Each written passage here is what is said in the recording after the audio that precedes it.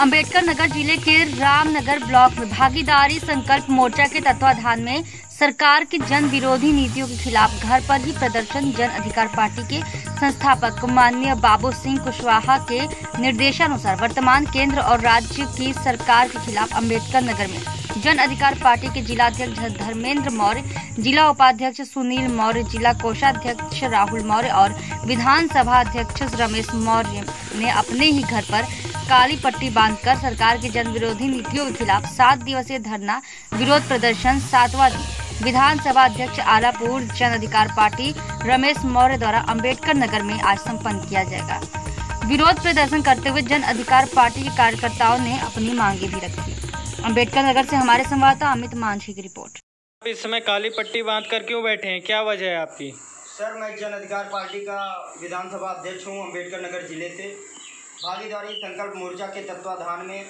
सभी पार्टियाँ, चाहे वह सुहेल देव भारतीय समाज पार्टी हो या जन अधिकार पार्टी हो या बाबूराम पाल जी की पार्टी हो, राष्ट्रीय उपेक्षित समाज पार्टी हो, सभी पार्टी के कार्यकर्ता, सभी प्रदेश, देश और जहाँ भी पार्टी के कार्यकर्ता हैं, सभी लोग अपने ही घर पर सोशल डिस्टेंसिंग का पालन करते हुए एक काली पट्टी बांधकर सरकार की जन विरोधी नीतियों के खिलाफ हम विरोध प्रदर्शन कर रहे हैं। मैं सरकार की उन नीतियों के खिलाफ विरोध प्रदर्शन कर रहा हूँ कि आए दिन हमारे पिछड़े अल्पसंख्यक मजदूरों, गरीबों के साथ यह इनकी सरकार, भारतीय जनता पार्टी की सरकार और ये कुछ ब्राह्मणवादी लोग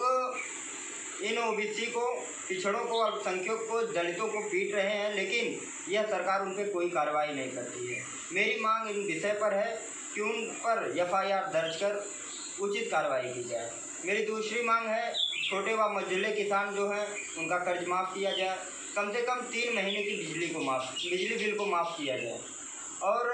जितने भी हमारे प्रवासी मजदूर रहे, किसान भाई रहे, जिनकी जीविका नहीं है, उनको एक मुफ़्त में, एक मुफ़्त में लगभग पंद्रह हज़ार रुपये दिया जाए और, मासिक करीबन सात हज़ार पाँच सौ रुपये उनको दिया जाए, ताकि उनकी जीविका अच्छे ढंग से चली जाए। और, अगला है कि मैं सरकार से अनुरोध करना चाहता हूँ कि जितने भी हमारे नौजवान बेरोजगार भाई बैठे हैं, उनके लिए रोज़गार की कुछ व्यवस्था की जाए। इस प्रकार से आज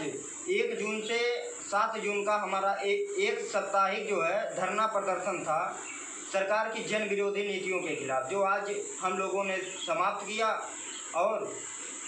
यह सिर्फ़ एक ही ज़िले में नहीं, मैं अपनी विधानसभा की बात बता दूँ, हमारी विधानसभा में जितने भी कार्यकर्ता हैं, सब अपने ही घर पर रहकर इस प्रकार से विरोध प्रदर्शन कर रहे हैं।